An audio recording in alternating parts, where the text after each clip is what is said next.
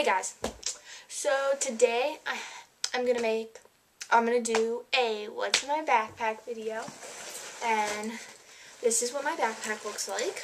I've used this for, it's my second year, and so pretty much what I have is I have two book bags I guess, because my other one is just like a little carry-on bag I don't carry around, but yeah. I just, uh, you, you. So, I'm going to be showing you what's in my first bag, my book bag, which, yeah. I'm sorry, I'm having difficulties. So, on the outside side of my book bag, I just have a little Bath & Body Works hand sanitizer, if you can see it, and warm vanilla sugar and it just has one of these little cases on it. And I have two little, and then I just have two little like clips. You can see that.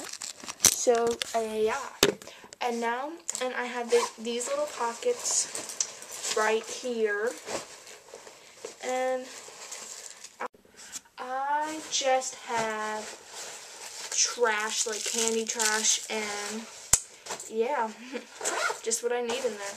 And then the next pocket is identical. And I have more trash and a headband. So yeah. And now I have like a mini ear pocket. And I really don't have anything in here today. Just because of the fact of I really didn't have any homework.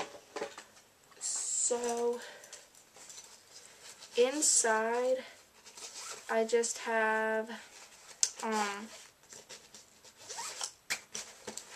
like, it's like these little pockets. I don't know if you can see that, but hopefully you can see that. And I just have pencils in there. Yeah, I have a, and then, oof, in that pocket, you can definitely see, like, in this little pocket, I'm so sorry, I have my iPod, and then I have my headphones, so that's what's in there. And I keep it in this, this little secret compartment, I put that in there. Yeah, and that's all that's in there.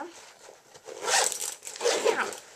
And then opening in the big pocket, big pocket, I have my lunchbox, which is a little cute Vera Bradley one blue and stuff. And then I have a lot of trash in here, just I have my, I can't really show you this,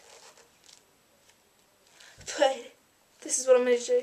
I just have a folder with all my stuff in. And then I have my planner, which, get to a page here, like, I have my planner, and here's my agenda, or I have to do.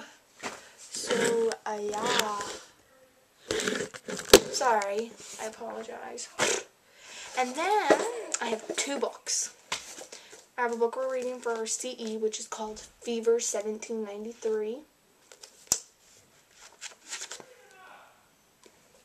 And then I have